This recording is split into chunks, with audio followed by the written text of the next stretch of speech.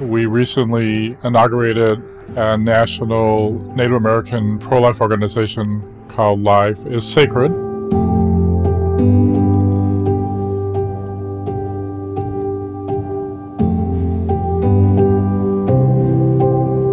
One of the most basic tenets of all of our cultures is to stand and protect those who are the most vulnerable, are the most weak. So the elderly, uh, the sick, our children, and no group of people fit that definition more than the unborn.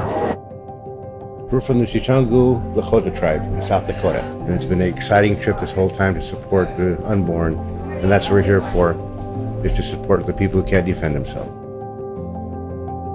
Until 1924, Native and Indigenous peoples were not recognized as persons under the laws of the United States, and this in part led to the decimation of many of our peoples.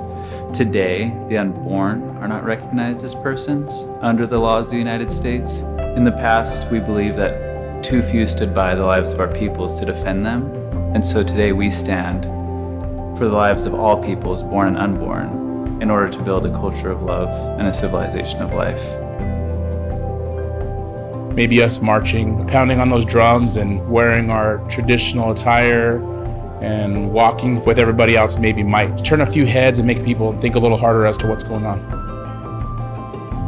John Paul was a champion of that truth, goodness, and beauty in Native culture. And we're actually really excited to be here in DC this weekend to be able to go to the shrine of John Paul II and to thank our patron saint. In a lot of ways, John Paul is the patron saint of Native peoples.